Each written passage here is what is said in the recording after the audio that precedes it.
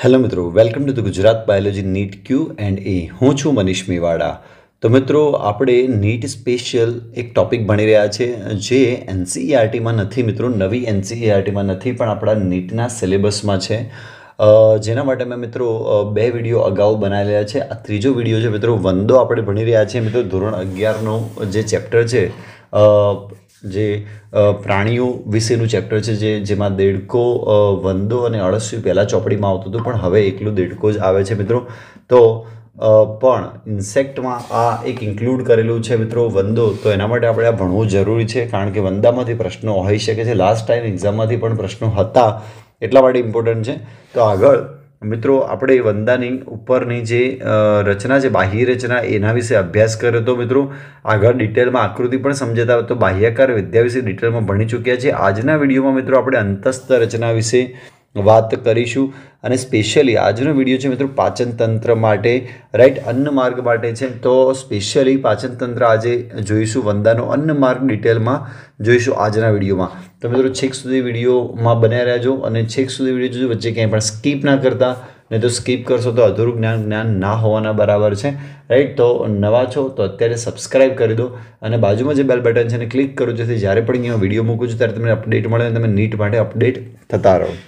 તો મિત્રો અંતસ્થ રચનાની વાત કરીએ તો દેહ ગુવામાં આવેલ અન્ન માર્ગ ત્રણ ભાગો અગ્રાંત્ર મધ્યાંત્ર અને પશ્ચાંત્રમાં વહેંચાયેલો હોય છે. રાઈટ તો અહીંયા તમે જોઈ શકો છો જે જે અહીંયા વંદાનો અન્ન માર્ગ આપેલો છે, એની અંદર મિત્રો હું ગ્રીન લાઇન કરું છું, જેથી તમે જોઈ શકો તો આટલો ભાગ મિત્રો જે છે એ અગ્રાંત્ર કહેવાશે. રાઈટ વચ્ચેનો ભાગ છે એ મિત્રો મધ્યાંત્ર કહેવાશે અને પાછળનો ભાગ છે ને પશ્ચાંત્ર કહેવાશે. રાઈટ આ રીતે એક્ઝેક્ટ મિત્રો આ એરિયા મેં જે બતાવ્યા ત્યાં મિત્રો અગ્રાંત્ર, મધ્યાંત્ર અને પશ્ચાંતરમાં વહેંચાયેલો છે અન્નમાર્ગ આખે આખો મિત્રો. રાઈટ તો શરૂઆત એની મુખથી થાય છે. તો આપણે જોઈએ કે એની શરૂઆત કેવી રીતે મુખથી થાય છે. અહીંયા તો તમને ખ્યાલ છે કે કોઈ પણ કોઈ પણ અન્નમાર્ગ હોય એની શરૂઆત મુખથી થાય મિત્રો. તો મુખ એક નાની નલિકાકાર કંઠનળીમાં ખુલે છે. અહીંયા તમે જોશો તો અહીંયા એક નાની નાની અહીંયા આટલી જ મિત્રો જે રાઉન્ડ કર્યું છે, અહીંયા તમે જોઈ શકો છો કંઠનળી છે. તો નાની કંઠનળીમાં ખુલે છે. અન્નનળી કંઠનળીને અનુસરીને આવેલી સાંકડી નલિકામય રચના છે. એના પછી તરત જ મિત્રો નાનકડી અન્નનળી હશે એટલે હું બીજું રાઉન્ડ કરું છું. તમે જુઓ, તો અહીંયા આ અન્નનળી છે જે હું બધા જ રાઉન્ડ કરતો જઉં છું મિત્રો. તો અહીંયા એક નાનકડી સાંકડી નલિકાકાર રચના. મિત્રો, નીટમાં શું પૂછાય? નીટમાં આવા ઝીણા ઝીણા શબ્દો પૂછાઈ શકે છે મિત્રો, કે કંઠનળીને અનુસરીને આવેલી સાંકડી નલિકામય રચના છે અને મુખ એક નાની નલિકાકાર કંઠનળીમાં ખુલે છે. તો કંઠનળી સાંકડી એવું નથી લખ્યું મિત્રો, નાની નલિકાકાર કંઠનળીમાં ખુલે છે. તો આકાર યાદ રાખજો, કંઠ નલિકાકાર આકાર મિત્રો યાદ રાખજો. તો નીટમાં આવા ઝીણા ઝીણા શબ્દો પૂછતા હોય છે મિત્રો, વારંવાર. પછી જુઓ મિત્રો અન્નનળી છે. એ એક કોથળી જેવી રચનામાં ખુલે છે, જેને અન્ન સંગ્રહાશય કહે છે. તમે અહીંયા મોટી જોઈ શકો છો. હવે ત્રીજા નંબરનો ભાગ, જે અન્ન સંગ્રહાશય છે, જ્યાં જ્યાં મિત્રો ખોરાકનો સંગ્રહ કરવામાં આવે છે. અને પછી જ્યારે જરૂરિયાત હશે તો આગળ મોકલવામાં આવશે મિત્રો. તો અહીંયા અન્ન સંગ્રહાશયમાં ખોરાકનો સંગ્રહ થાય છે. ત્રીજા નંબરની વાત કરી મિત્રો, મેં તમને કે એક કોથળી જેવી રચના છે, જે, જેને અન્ન સંગ્રહાશય કહે છે, જે ખોરાકના સંગ્રહ માટે ઉપયોગી છે. રાઈટ મેં તમને ઓલરેડી પહેલાં કહી દીધું. બીજું, તે આગળ પેશણીમાં ખુલે છે, જેમાં બાહ્ય પટલ જાડો. આ નીટ માટે મિત્રો વેરી મોસ્ટ ઇમ્પોર્ટન્ટ છે. આગળ તમે જોઈ શકો છો આ પેશણી છે. રાઈટ પાંચમા નંબરની વાત છે મિત્રો, હું રાઉન્ડ કરી જાઉં છું. લાઇનસર બધા જોતા રહેજો. પેશણી છે અને પેશણી, જેમાં બાહ્ય પટલ જાડું મિત્રો યાદ રાખજો. અહીંયા બંને પટલ જાડા છે મિત્રો. ભલે અહીંયા એવી રીતે લખ્યું તો જો જાડું, બાહ્ય પટલ જાડું. રાઈટ વર્તુળાકાર સ્નાયુનું બનેલું હોય છે મિત્રો. અહીંયા મેં રાઉન્ડ કર્યું છે ગોળ. તો યાદ રાખજો, સ્નાયુ કયા? તો વર્તુળાકાર સ્નાયુનું બનેલું છે. વેરી મોસ્ટ ઇમ્પોર્ટન્ટ મિત્રો, નીટ માટે, પરીક્ષામાં નીટમાં પ્રશ્ન પૂછાય તો મિત્રો અહીંયાથી પૂછાઈ શકે છે. અને અંદરનું પટલ જાડું હોય છે. અંદરનું પટલ પણ હું ઓરેન્જ કલરથી દર્શાવું છું તમે જોઈ શકો, એ પણ મિત્રો જાડું હોય છે. રાઈટ તો અંદરનું પટલ પણ કેવું હોય છે? જાડું હોય છે. ક્યુટિકલ યુક્ત હોય છે. અહીંયા મિત્રો અંદરનું પટેલ તમારે લખવાનું છે ક્યુટિકલ તો નીટ માટે ફરીથી કહું છું વેરી મોસ્ટ આઈએમબી કહેવાય છે. આ મિત્રો બહારનું પટલ પણ કેવું છે, જે વર્તુળાકાર સ્નાયુનું બનેલું છે, જે કેવું છે મિત્રો, જાડું છે. ક્યુટિકલ પણ કેવું છે મિત્રો, જાડું છે. ઓકે જે છ કાઇટિનની તકતીઓ બનાવે છે. આ રીતે મિત્રો અંદરનું લેયર જે છે, એવી, એ અંદરનું લેયર મિત્રો આ રીતે છ તકતીઓ બનાવશે. દાંત જેવી રચના હોય છે મિત્રો. રાઈટ જે ભરડવા અને ચાવવા, મતલબ એને ભૂકો કરવા માટે ખોરાકને કામ આવે છે. આવી રીતે મિત્રો અહીંયા તમે જોઈ શકો એક, બે, ત્રણ, ચાર, પાંચ અને છઠ્ઠું મિત્રો અહીંયા દોરી કાઢીએ. તો આ રીતે અંદરની સાઈડ મિત્રો આવી રીતે છ કાઇટીનયુક્ત તકતીઓ બનાવે છે જેને દાંત કહે છે.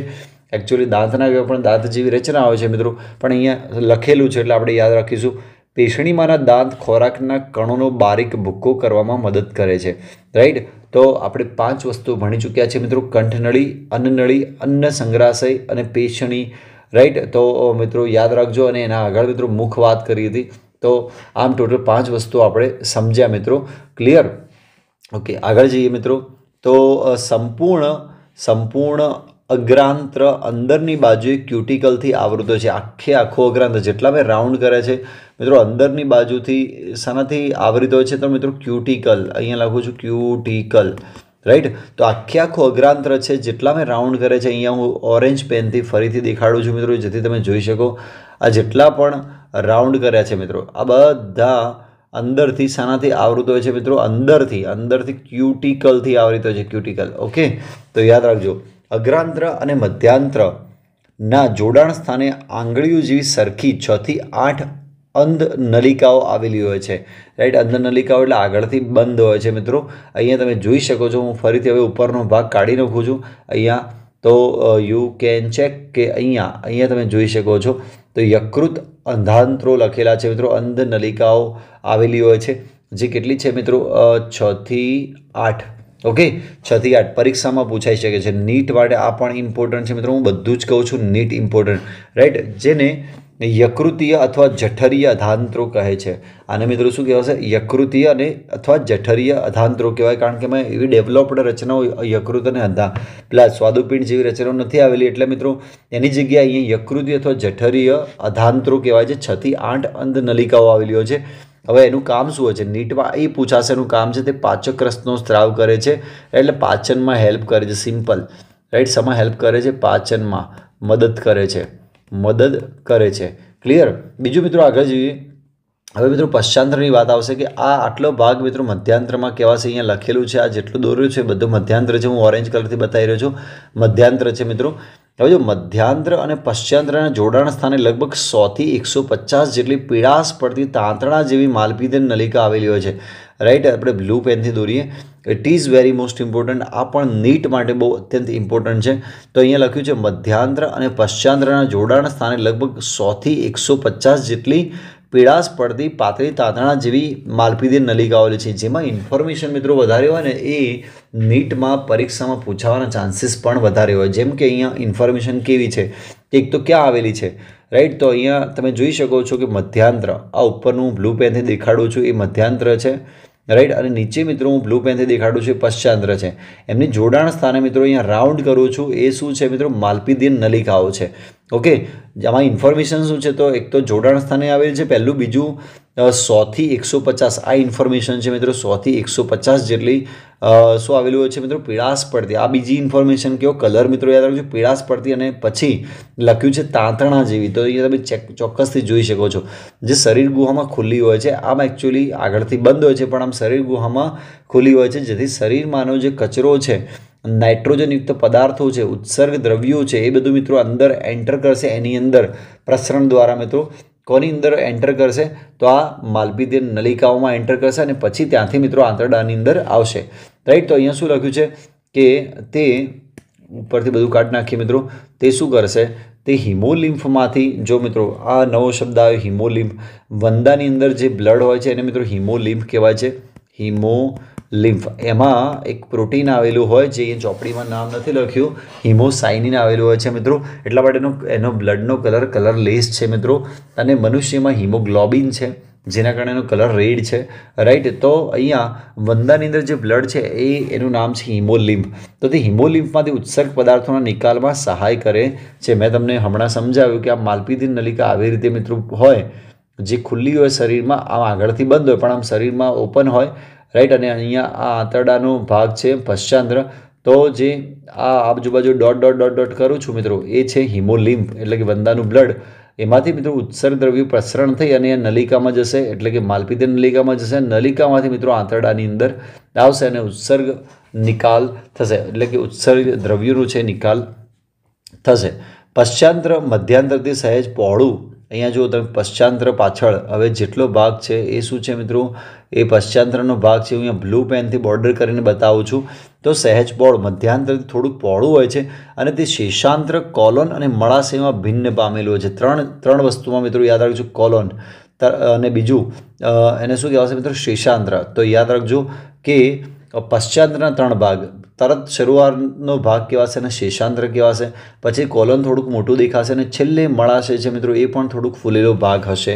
રાઈટ તમે ત્રણ ભાગોમાં ડિવાઈડ પામેલું છે જે મળાશય છે એ મળદ્વાર વડે બહારની તરફ ખુલે છે.